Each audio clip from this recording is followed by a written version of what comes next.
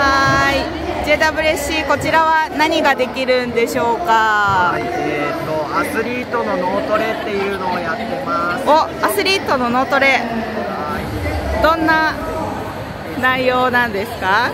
普通の脳トレとちょっと違ったうん脳トレです。やってみたらわかると思います。おちなみに奥にマリオが見えますがあれが脳トレですねゲームで脳トレやってます。マリオに挑戦アスリート脳トレ。